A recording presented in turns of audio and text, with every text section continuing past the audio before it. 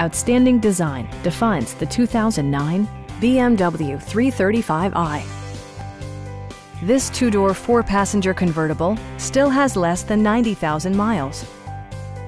BMW made sure to keep road handling and sportiness at the top of its priority list.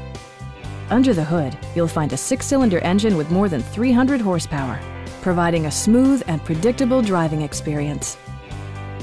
The engine breathes better thanks to a turbocharger, improving both performance and economy. BMW prioritized comfort and style by including front and rear reading lights, power front seats, high-intensity discharge headlights, a power convertible roof, and seat memory.